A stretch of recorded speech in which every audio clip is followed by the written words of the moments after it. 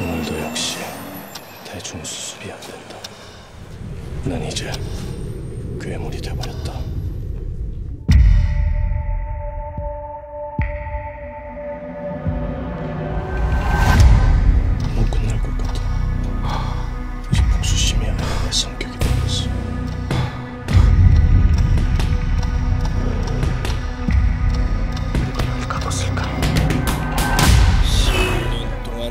당신을 지켜봤어요. 단서받은 자한테 복수심만큼 잘 되는 사람이 없어요. 한번 해봐.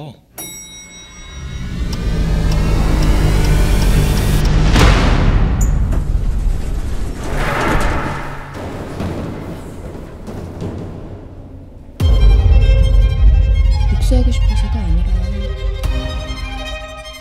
왜 그런지 알고 싶어서 싸운다고 했죠? 오대수 씨, 오랜만에. 복수가 다 이뤄지고 나면 어떨까? 아마 숨어있던 고통이 다시 찾아올 거야.